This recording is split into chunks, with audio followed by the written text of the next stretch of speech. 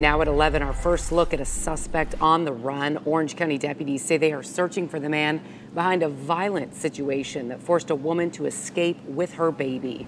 The incident launching a standoff for hours at an apartment complex near the corner of Texas and Rio Grande. News 6's Eric Sandoval is there with the manhunt.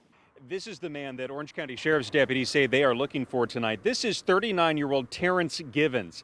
They say they thought he had barricaded himself inside one of these apartments earlier today, but it turns out he got away.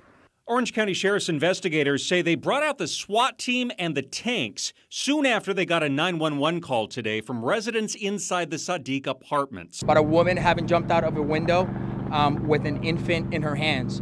Um, this woman appeared to be in uh, major duress. They say they found the injured woman hiding under a truck with her infant. She was transported to the hospital while deputies sealed off the complex. Believing he was still inside, they say they called out for hours for 39 year old Terrence Givens to come out of the apartment. They found out he wasn't inside. Yeah, they got the SWAT team, the little poles hitting the side door.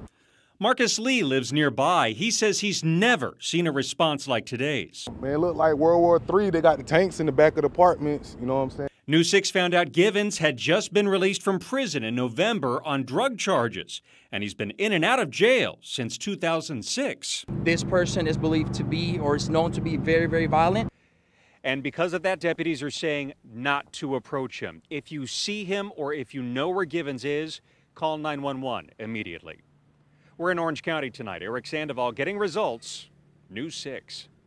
Thank you. Here is one more look at that suspect. We posted his picture and information at clickorlando.com. Find it under top stories.